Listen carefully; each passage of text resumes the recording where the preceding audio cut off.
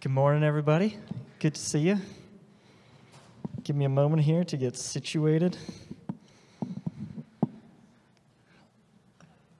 You guys all look great, though. Everyone's dressed up for Thanksgiving. Not everyone. I wore my plaid. I figured it was it was fall time. Oh, okay. I think I'm I think I'm set. Yeah, good morning. Um, as Tim said, I feel like I'm going to kick this over. Sorry, Josh, you'll have to move it. I tend to walk a little bit whenever I preach. Yeah, as Tim said, my name's Kevin. I get to be an assistant pastor here at Aylmer Full Gospel. And if we haven't met yet, I would love to do that. So come tackle me after the service. I'd love to get to know you. Um, yeah, and if you're wondering where our incredible lead pastors are, Pastors Nathan and Natalia, they are visiting family this weekend, so we bless them um, just to have an amazing time with family there. We miss them, of course, but and actually, uh, I got a message from Pastor Natalia this morning, just if we could pray for Ileana because she has a surgery on Wednesday.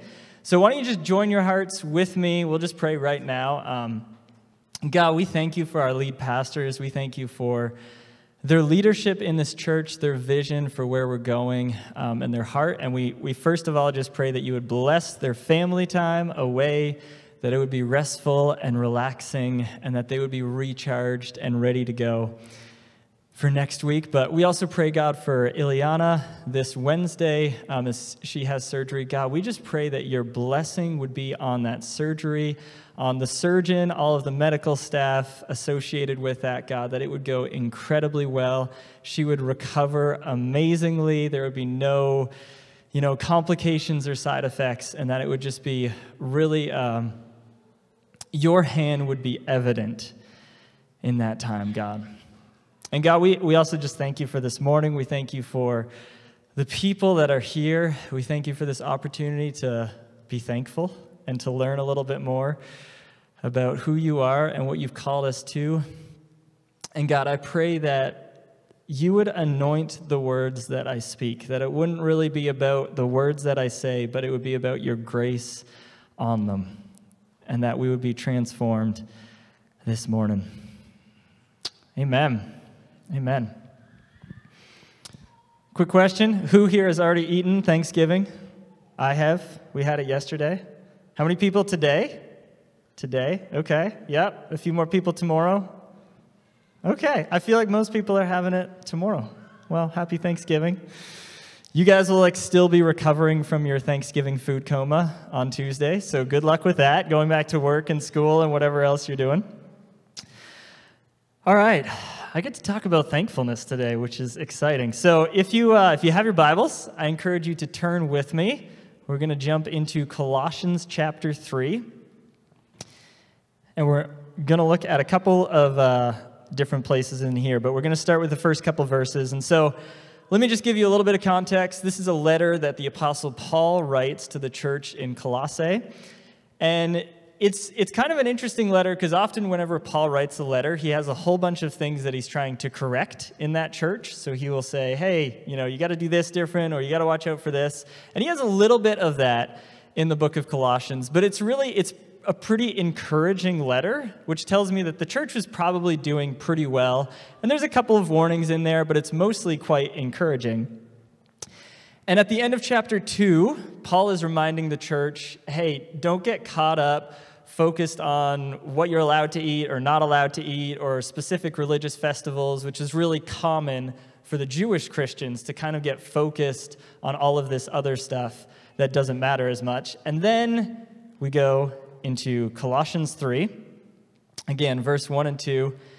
And I'm reading out of the NIV translation this morning. Uh, I usually like the ESV, but I just like the way the NIV conveys a couple of these thoughts. So, it says, Since then, you have been raised with Christ. Set your hearts on things above, where Christ is, seated at the right hand of God.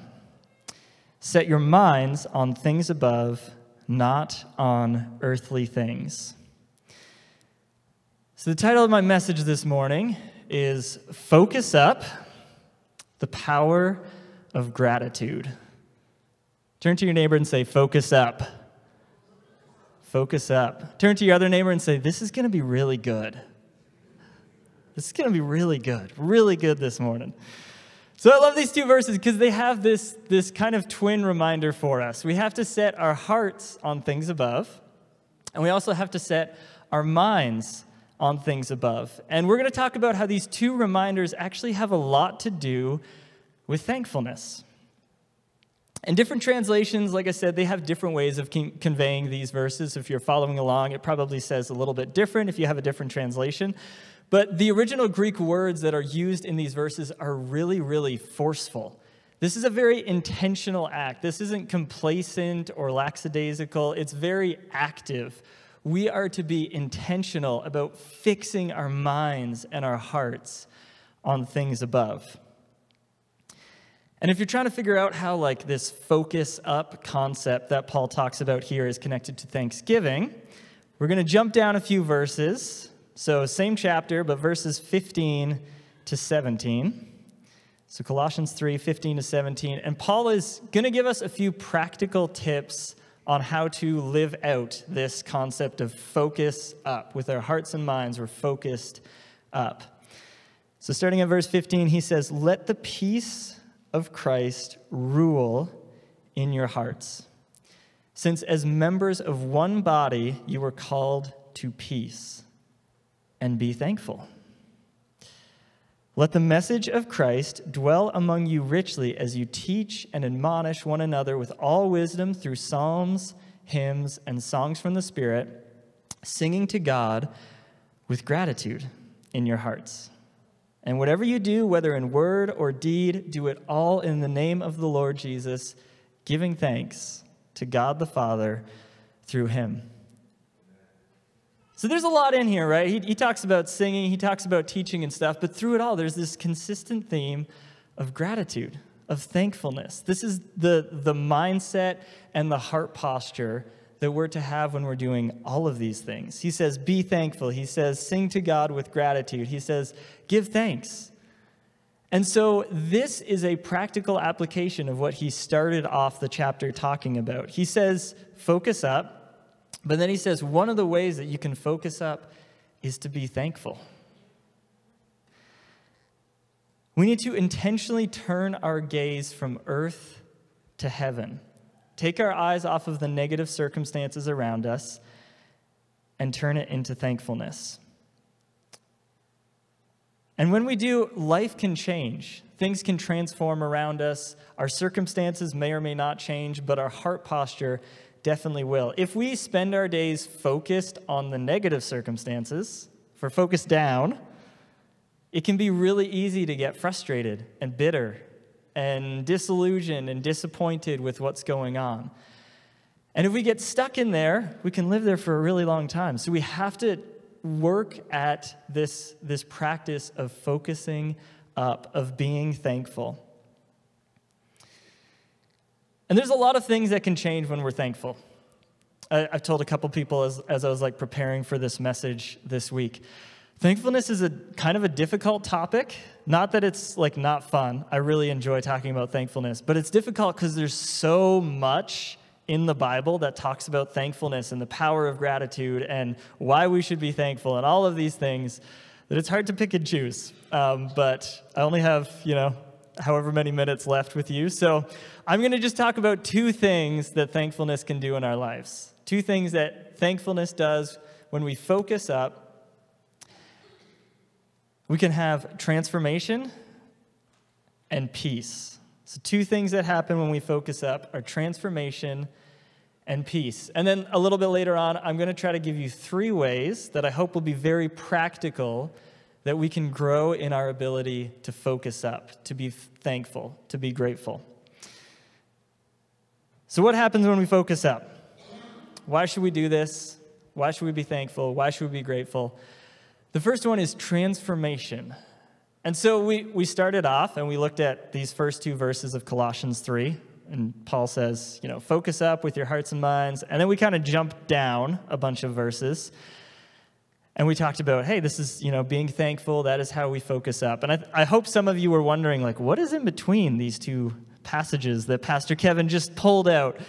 And so I'm glad you asked. Because there, there's a few things that Paul talks about in between these two passages, but really he f- spends quite a bit of it focused on the transformed life, talking about living a godly life, what it looks like, what it doesn't look like.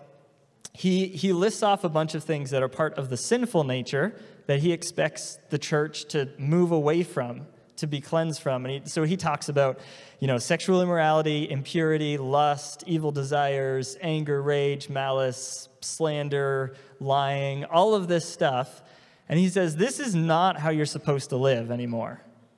This is how you once lived, but this should not be part of your life anymore. And then he talks about the things that should be part of the transformed godly life. And so he talks about compassion and kindness and patience and humility and gentleness and love. And this whole passage is one kind of continuous stream of thought. So he starts off and he says, We need to focus up. And then he says, This is what it actually looks like when you do focus up. You live a godly, transformed life where you're not caught up in all of this sin. You actually live transformed.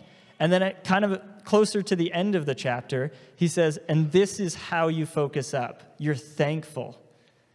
And, you know, he lists off a couple of other things, but really, a lot of the focus is if you're thankful, your life will naturally start to look more like Jesus more godly, more transformed, more filled with hope and peace and joy. And so, you know, we all at different times in our lives, we fight with some of these sins, right? One of the one of the ways that we can practically fight against it is by being thankful. So maybe you're, you know, you're in a season and you find yourself feeling like greedy for things. Spend some time thanking God for what he's already given you. Just be intentional about it. Oh, God, I'm like fighting with this inner thing, but I'm going to choose to be thankful and fix my mind on things above. Or maybe you have a tendency to lie about things and, and you're trying to kick it, but it just seems like this habit that's built into you.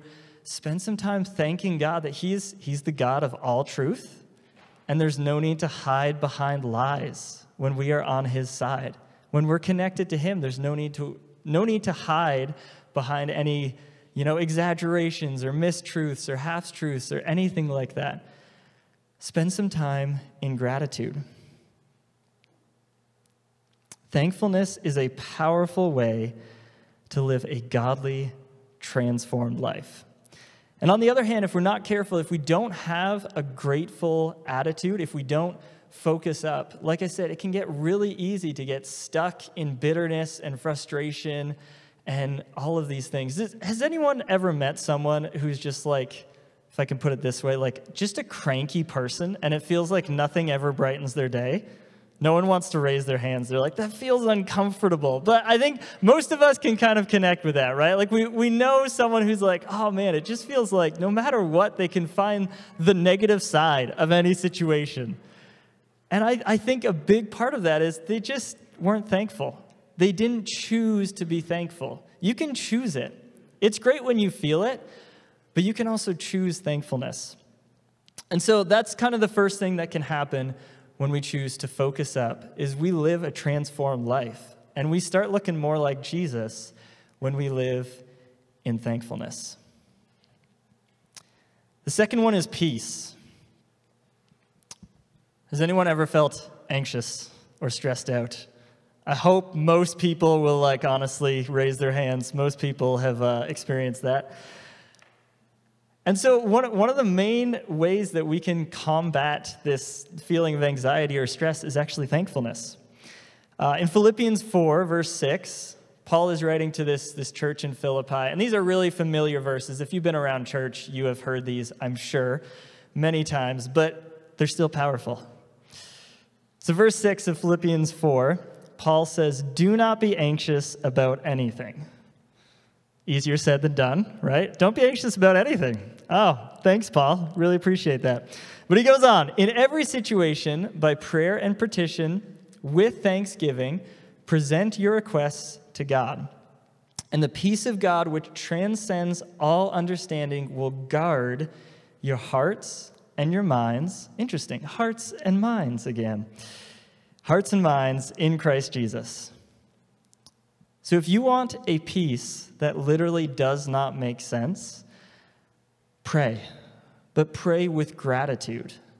I think some people can get in the habit of praying with a spirit of complaining or bitterness or frustration. And we, you know, I, I really do believe that God is strong enough to carry all of our complaints. We can be honest with God, we can tell Him that we're upset, all of those things. We need to be honest with Him. But I think sometimes we pray, and that's the only thing that happens, is we just complain to God for a while. We need to get past that and get to the point where we can truly be grateful to God as well. And so this verse doesn't say, thank God for every circumstance. It doesn't. It says, thank God in every circumstance. And I was, I was talking to Roger this morning right before service, and he like stole this point. I was like, Roger, that is my point. He was like, Yeah, we don't have to thank God for everything, but we thank God in everything. And that's exactly right. We can tell God we would like our circumstances to be different. That's allowed. But we can still be thankful even when they're not different. And so we don't stay there. We don't stay in complaining or bitterness. We get honest with God that we'd like things to be different, but then we choose to be grateful anyways. And for me, I can, I can remember the day that my parents communicated to my siblings and I that my mom had been diagnosed with multiple myeloma, which is a type of cancer that impacts plasma cells and is medically incurable. And so I can remember this moment really well, and I'm sure many of you have been in moments like these where it feels like, what? Is this real? Is this actually happening to us, to our family, to my mom, who's this incredible person and, like, you know, is so giving and so caring?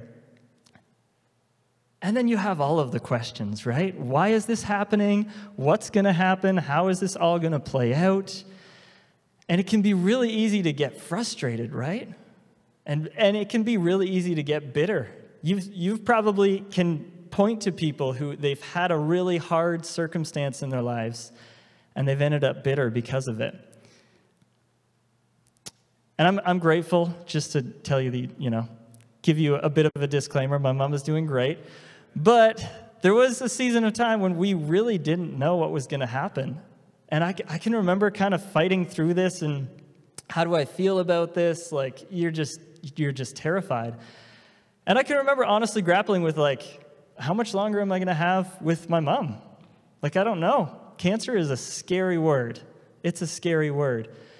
And again, I'm grateful she's doing good. This is six years ago now, and she's She's still not healed. We're still praying for that. So if you think of her, pray for healing. But outside of that, she's doing amazing. She's living with gratitude. She is reading stories to her grandkids on a regular basis and all of that, which is great. But I had to grapple with this. Like, how much longer am I going to have with my mom?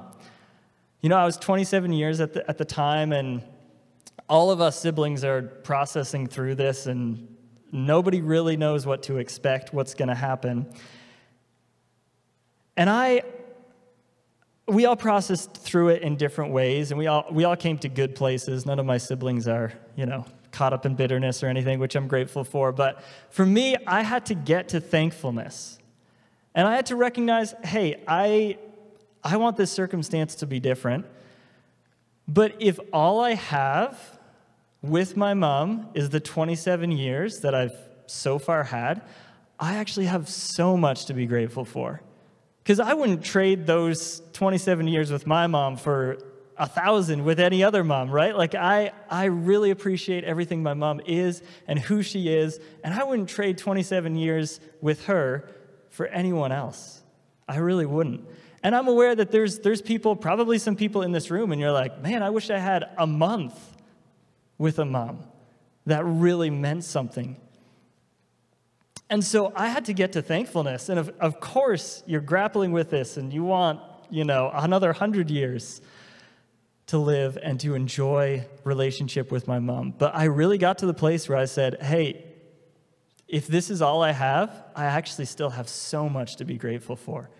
And I wouldn't trade it for anything. And I think that's what we have to do in situations that feel hard. We have to fight our way and get to gratitude. And when we do, we experience peace. Again, we don't have to be thankful for the circumstance. I'm not thankful for cancer. And I pray on a regular basis that it leaves my mom's body and leaves her perfectly healed and whole. But I can be thankful regardless, in spite of the circumstance. I can be thankful. And that's how we get to peace. We have to figure out a way in every circumstance to be thankful, to focus up. And so, how do we do that? If focusing up is this practice where we get transformation and peace, and by the way, a lot of other things that I didn't have time to talk about today, how do we practically focus up in our lives? And I believe that gratitude really is two things. I think it is a heart posture where we have this feeling of gratitude and thankfulness. But then I also believe that it is a practiced habit. We can grow in thankfulness, we can grow in gratitude. And so, if it's both our heart and our mind, you know, the first verse that we looked at, Paul talks about setting our hearts and our minds on things above. And so sometimes gratitude is a feeling inside of us, and it's like we hardly can contain it. It's just easy, it bubbles up. We're just grateful for almost without any sort of reason. And then there's other times when we don't feel grateful at all, but we can still choose to focus up with our minds. And we can choose, I'm going to find something to be thankful for even though I don't feel it. And in some ways, I think that's more powerful because we're not relying on our emotions, on what we feel, but we are saying we choose this despite all of the circumstances. And these things, I think they do really grow in tandem. We can grow our ability to focus up when we don't feel it. And as we do that, we're going to end up feeling it more. We're actually going to feel more grateful naturally, and then we kind of just play off of each other, and our hearts and our minds are growing in this together.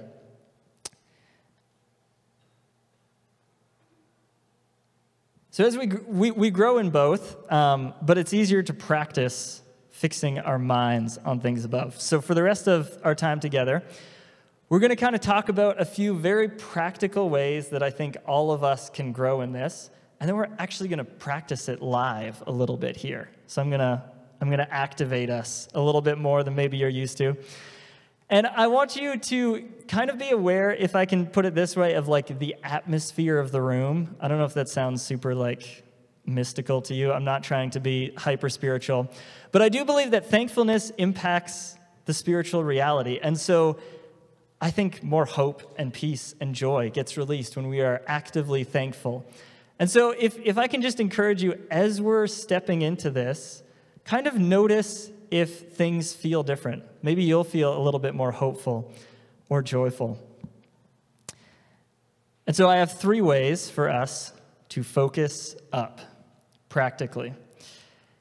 And you can adapt these, you can change them, you can steal them, all of these things. But these, this is just to kind of get our minds going. How can we actually do this? How can we create habits of thankfulness? So, the first one is to dos into thank yous. To dos to thank yous. How many of you like to do lists? Yes? Okay. Yep. How many of you have like multiple to do lists and they're color coded and they're organized by priority and date? And yeah, okay. So more people like me. This is how my brain works. I like to do lists and I have multiple lists and they're kind of organized by, by you know, priority and different things like this. But I, I check this to do list sometimes, you know, it depends on the day, but sometimes five or 10 times a day. And I'm just like making sure that I'm on track. Okay, is there anything that I'm forgetting about?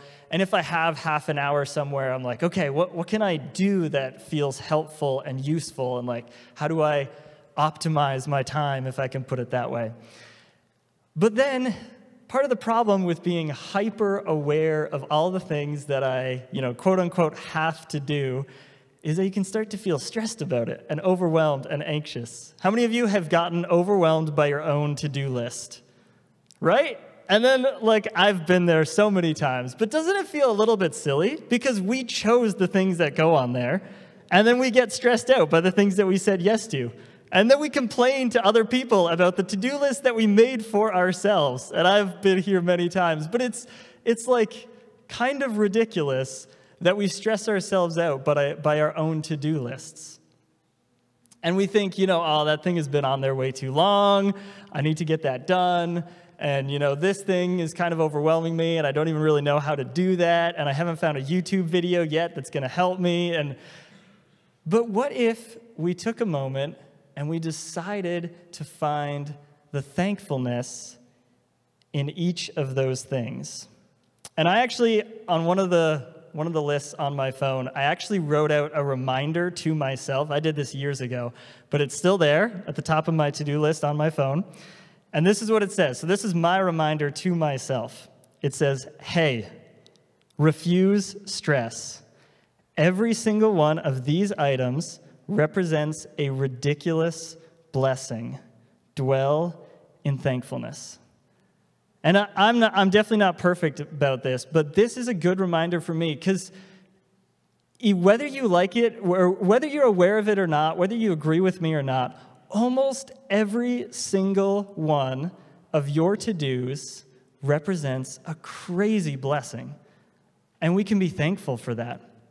And so, if you don't believe me yet, let me give you some examples. We, uh, we recently moved, and so a lot of my to-do list right now is the little things around the house that need like fixing up or unpacking or organizing. And if you've moved, you know what I'm talking about. It's like all the big things are done, but now there's like a million tiny little things that need adjusting. And it can get easy to be like, oh, there's just so much, and I feel overwhelmed, and it all needs to be done at the same time. But if I take a step back and think about it, wow, God, thank you so much for this house. Like, that is crazy. Thank you so much for allowing us to purchase this house. Thank you so much for the family that's going to grow into this house and make it a home. And thank you so much for providing for us. And like, that will change your approach to your to do list. I'm seriously, I'm so grateful. So, so grateful. Or maybe, you know, there's, there's some work on the car that needs to get done. And for me, when there's work on the car that needs to get done, it just means I need to book a mechanic appointment. I realize some of you like take it into your garage and actually work on it. I'm not that handy with cars, but but that even that for me can sometimes feel annoying because I'm like, oh, I still have to do that thing and I still haven't done it and I need to book that appointment. But wow, God, thank you that I have a vehicle. Not everybody has a vehicle. And I'm really grateful that I have a vehicle. I can get around so easily. And thank you that it's lasted us as long as it has. And thank you that it, it works well. And you see how this works? It really easily, you can turn it into gratitude. And for me, honestly, this, this past week, one of my to dos was prepare to preach on Sunday. And that can feel overwhelming because I'm like, okay, I have to get up in front of, you know, whatever, 100 or 150 people and talk for a while, and hopefully it's good, right? Hopefully it's good. And that can feel overwhelming. That can feel stressful. But if I take a step back and I say, I'm so grateful for this church, and I really am. I really am grateful for this church. And I'm so grateful that I get to be in the position that I'm in. And it's, it's really like dreams and prayers coming true every time that I get to speak, every time I get to be involved in this church. I'm so grateful for that. And I'm grateful that I don't need to prepare a message by myself. God's really good at helping me. And so if you don't like this message, blame God partially. No, I'm just kidding. I'm just kidding. Don't do that. Um, but it's like I, I get to work with God to prepare this message, and I'm really grateful for that. It's not totally up to me. I, I have to, you know, I have to work at it too. I have to put in the time and all of that stuff, but God is so faithful. And I can really be grateful that that's one of the things on my to do list. And so I want us to practice this. And so if you're comfortable, if you're kind of new to our church or like something about this feels weird, we're not going to force you into anything. You can just raise your hand and say, I'm not really comfortable with that. We'll have grace. That's fine. But if you are, I actually want you to turn to the person next to you and take turns sharing one thing on your to-do list. Whether it's whether it's a physical list or it's just something you know you have to get done. This is something that's been on my mind, maybe it's been lingering for a while and it's stressing you out. And then I want you to practically thank God for it. For whatever it is behind that. Does that make sense? So, just right now, we're going to take maybe, I don't know, 30 seconds or 60 seconds, and I want you to share one thing that's on that to do list, whether it's mental or physical, and turn it into thankfulness, turn it into gratitude. And go. But that's like a really simple way to be grateful, to be thankful. Okay, the next one. This is another practical way that we can focus up and be grateful. And this one is called the thank you can. The thank you can. Uh, and this is something that I take zero credit for. This is something that my parents implemented. And honestly, as kids, I think we complained about it. Uh, but in retrospect, I'm like, this is so awesome. And my wife and I, we've talked about it. We're going to do something similar. I'm not sure if it'll look exactly the same, but this is such a good, good like family tradition that my parents parents kind of forced us into, but it's so great. So this is how it works. You take a, a physical can or a canister, use, you know, a peanut butter jar or a tin or something like that. We had this little like tin can. And you just put it somewhere in your house that everybody knows where it is. You know, if you live by yourself, just put it somewhere that you won't forget it.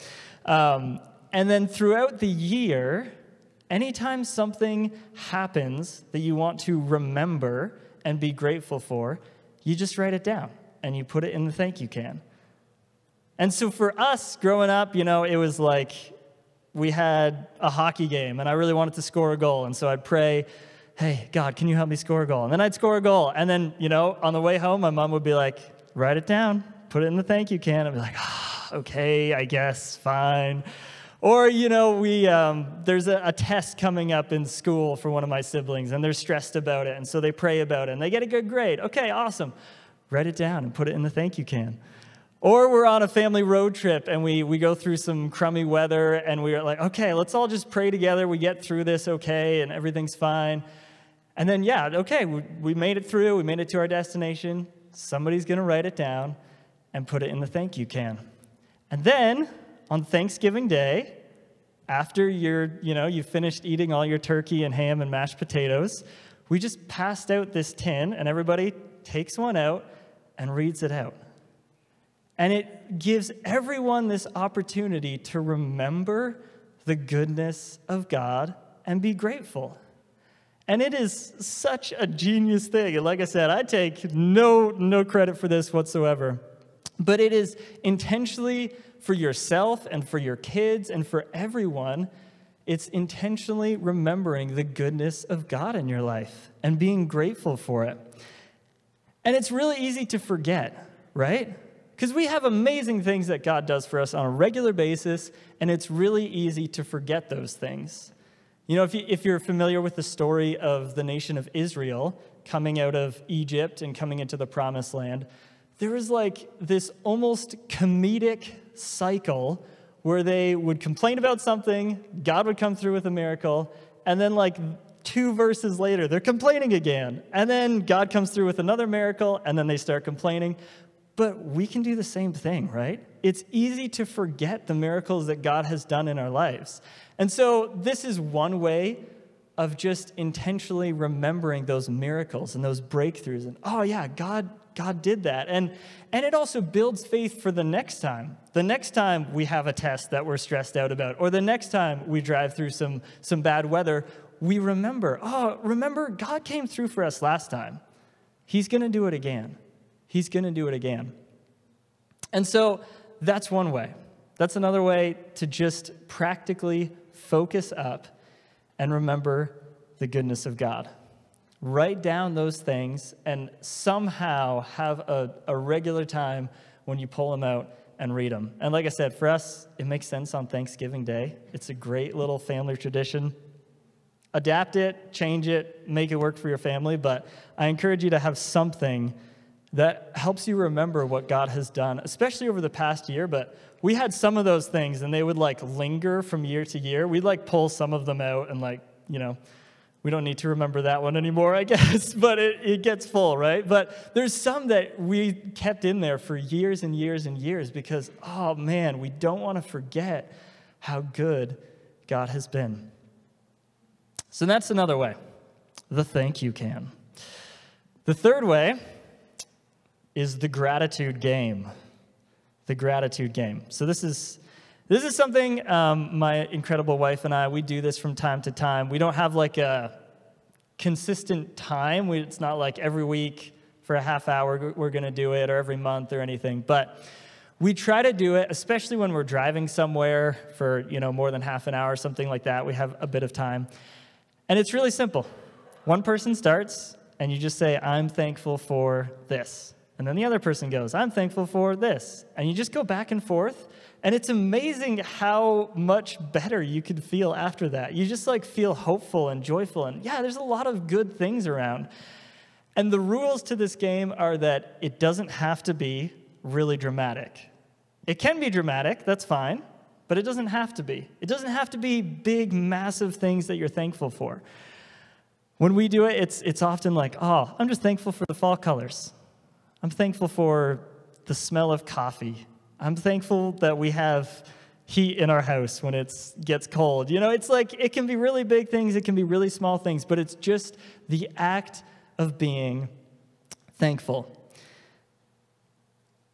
And so let's practice this again. We'll uh, find, find a neighbor. If you started with one, you can, you can change to another neighbor. I give you permission. But just take a few moments and one person start and just say, I'm thankful for, like I said, doesn't have to be a big dramatic thing. I'm thankful for rain. I'm thankful for blue sky. I'm thankful that we have access to the Bible in our language. Like it can be massive, it can be simple, it can be small. But let's just go back and forth for a few few minutes. Maybe see if we can get up to like five each, if you have time to share that many. And let's just be grateful for the things going on in our life. Good? We'll take about 30 seconds, maybe 60 seconds, and just be grateful with the person next to you. How are we doing? Guys had a chance to share? Who got up to five each? Yes, all right. Gold stars for all of you. This is, this is just a practical way to focus up, to be thankful, to be grateful. And, and like I said, as we work at this more, you know, it, it takes a little bit of effort. It's almost like a muscle. We have to work at it, but you'll feel it more. The more you do it and kind of just force yourself, I'm going to choose to be thankful, the more that you'll just feel grateful naturally. And like I said, thankfulness is so powerful. It brings transformation to our lives, it brings peace to our lives.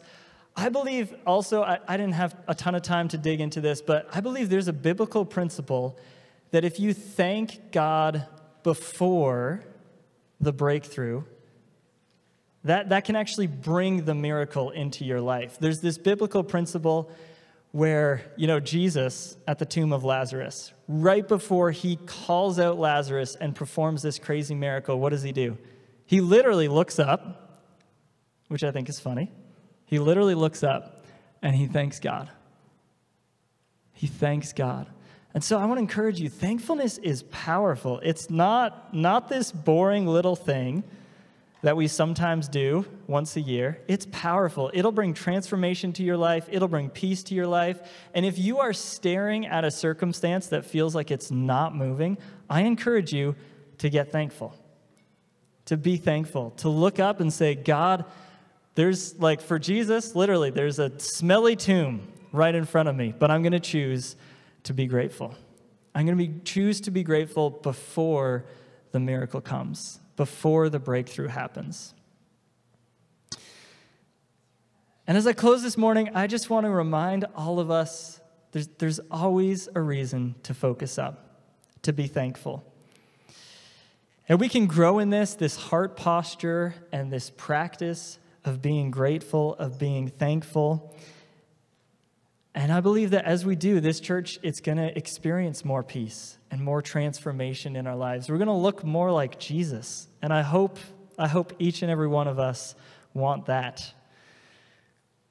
And then we're going to, I really do believe, we're going to experience more breakthrough and more miracles, and more circumstances will shift as we choose to be grateful even before anything has, has happened. The worship team's starting up, as you can tell, which is great. Um, and we're going to worship with one more song in a minute here. But I always want to give the opportunity. Uh, actually, why don't we stand up? We can like stretch our legs as I'm doing this. Thanksgiving stretch. I always want to give an opportunity for anyone, if you're in the room or if you're watching online, to start a relationship with Jesus. Or for you, maybe it's, it's something where you had a relationship many years ago, but you know that you don't really have a real relationship with God today. And I just want to extend the opportunity. This is a great day to do it. It's always a great day to do it. And so, this is for you if you have never done this before or it's just been a really long time.